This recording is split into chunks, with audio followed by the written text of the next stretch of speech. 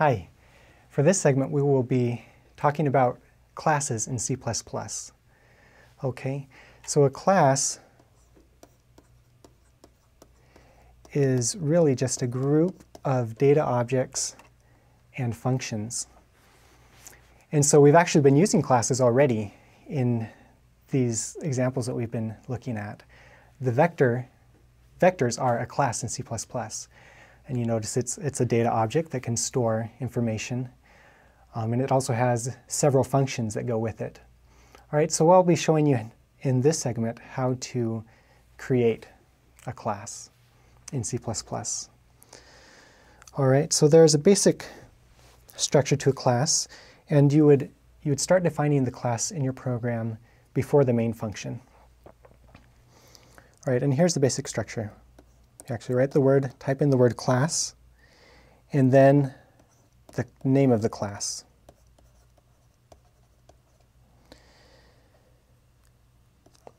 And then open curly brace and close. Now, as opposed to functions, we actually put a semicolon at the end of that last curly bracket, okay? Now within here, we're, we're simply declaring what objects and what functions are going to be included in this class, okay? And some of those might be public. So by public, I, I mean that someone can access those variables from within the main function itself. Some of them could be private, which means you can only access those variables within class functions. All right? So these would be variables, class variables, and functions. Functions can also be public or private. So if a function is private, it means you can only call that function within the class, within other functions in the class, okay? All right. So let's look at that in our code. And as an example, so a, a, class, like we said, a class could be a vectors, it could be matrices, could be a class. Um, but it doesn't have to be a mathematical object again. And so, in fact, it can be pretty abstract.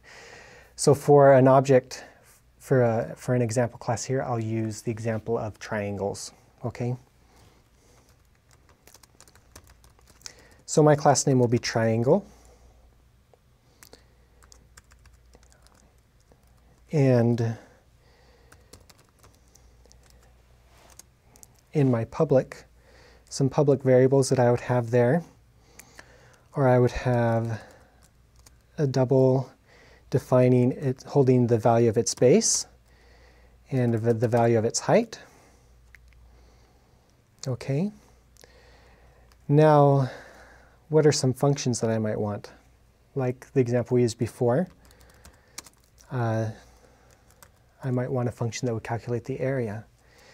And so it's the same setup here as I declared the function that here's the output is a double, the function name is area, and as input, I actually don't need any inputs because since area is a, is a class function, it already has access to all of the class variables, okay? So it has access to base and height already. All right, so I don't need any inputs. There is another function that we need, and it's called the class constructor. So a class is just a general description or, or, a, or a group or a, or a type, right? But remember, like, for example, with vectors, we would create a particular vector object, okay? And so when you actually instantiate an object of a particular class, you call what's called a constructor function. And for, for the vectors, the constructor, um, it could either take nothing, in which case it, it created a vector of size 0. The constructor also accepted a size. So we could say vec open parenthesis, close parenthesis of 10, and that would create a vector of size 10. And the other constructor for vectors was to specify size and the value in each element, okay? So the constructor always has the same name as the class itself. So for the constructor for a triangle, we actually want to input the base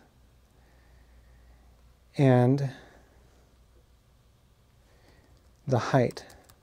Okay, I'm going to do b and h just to distinguish it from my class variables, base and height.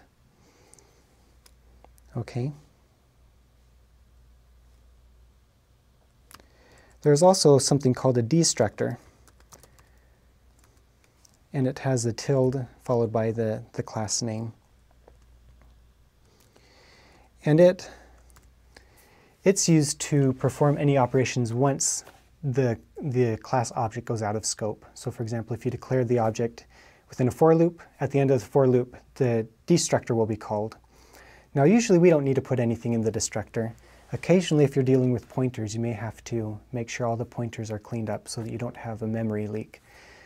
But in this case, we're not actually going to be using the, the destructor. Okay. All right, so now there I've declared my class, but now I still need to define these two functions, triangle and area. I'm going to rearrange this just a little bit and group all of my functions together, just to be clean. Group my functions together and the variables together. You notice I've made them all public. Okay.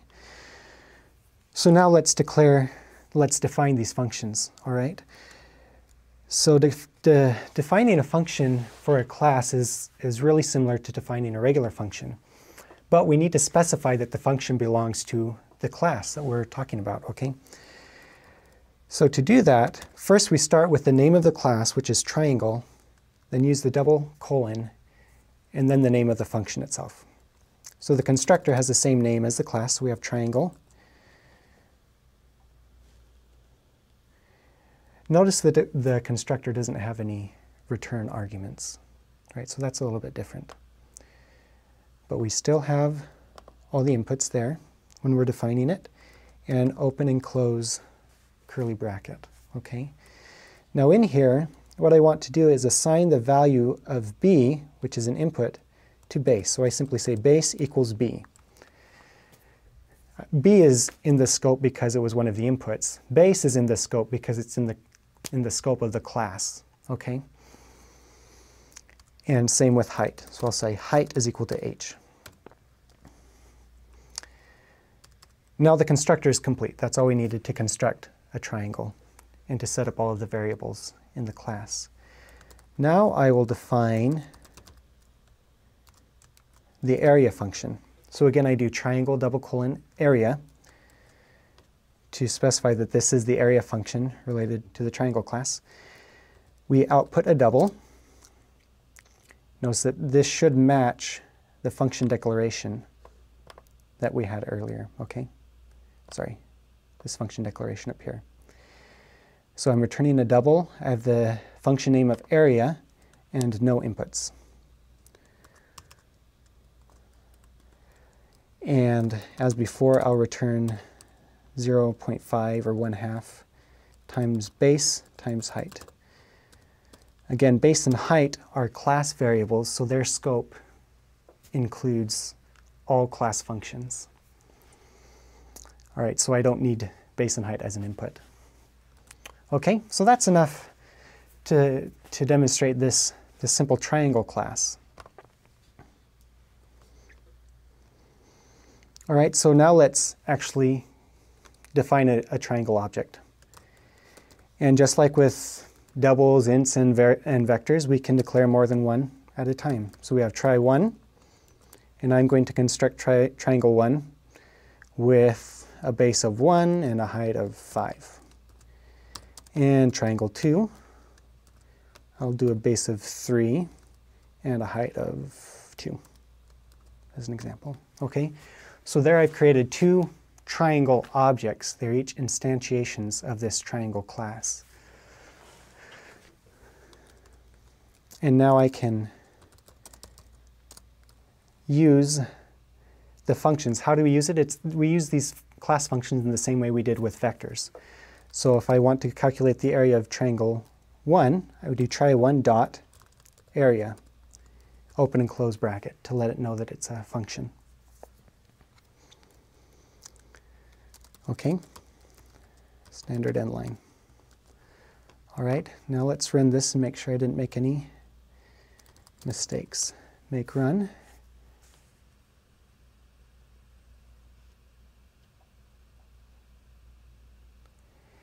And it says, new types may not be defined in return type.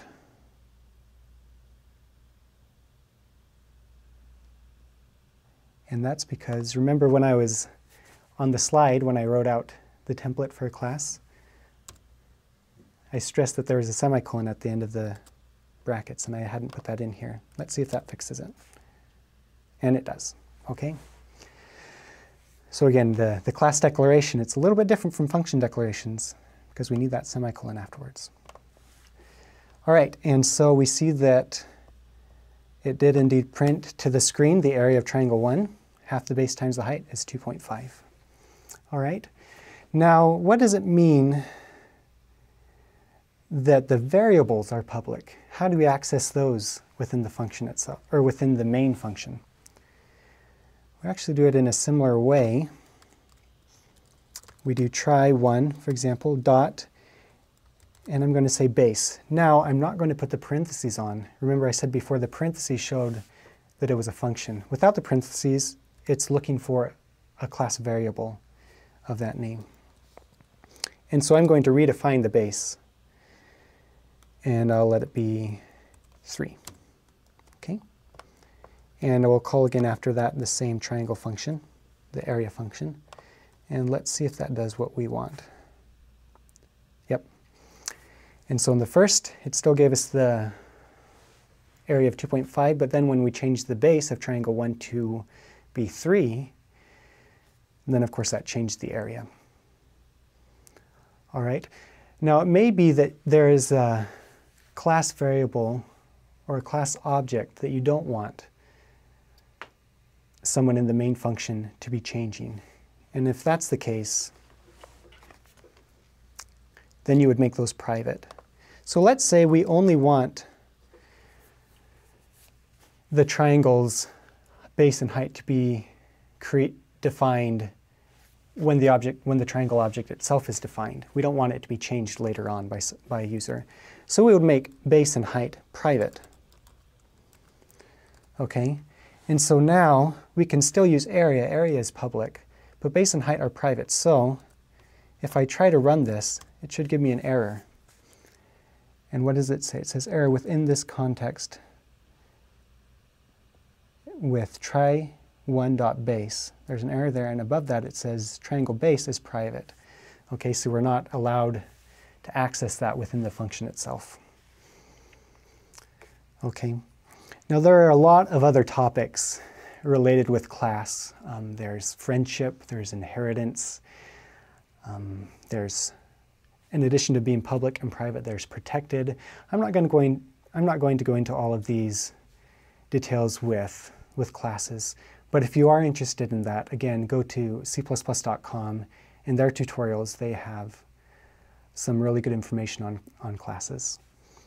Now in our in our coding template for the coding assignments, we actually will be creating a finite element method class that has specific functions um, related to the finite element method and data objects. So we would have objects such as a global force vector or a global stiffness matrix. We would have class, uh, class functions, excuse me, such as our basis functions. Or you might have a function for the assembly process or a function for outputting results. Okay, so this class structure, uh, the structure itself will actually be fairly simple, um, but we will use several variables and functions related to the finite element method. So now we have our class structure here all in the same .cc file. We can actually separate the class structure itself into a separate header file and then just include that header file within our main.cc. So let's do that. Create a new file and I will save it as triangle.h. and I'll save it in the same folder example. And all I'm going to do is copy this class declaration, including the, the function descriptions. I'm actually going to cut those from main.cc and paste them into triangle.h and save that. And in main.cc, I'll just do pound include triangle.h. I use the quotes just to specify it's a header file that I created myself, as opposed to a standard header file. All right, so now we go to back to our terminal, and we should be able to just make run, and it will run correctly just as before, giving the exact same outputs and running in exactly the same way. So by doing the pound include, it's as if that whole file, the whole .h file, were just written within the main.cc where I included it. Okay. So that will, now actually this will be how we give you the, the coding templates for the homework assignments. You'll have a main.cc and a fem.h, an fem.h header file for each of your assignments. The bulk of the coding will be within the fem.h where you're defining this fem class structure and all the data objects and functions associated with it. And so we'll stop here, and this ends um, these segments on our review and introduction to C++.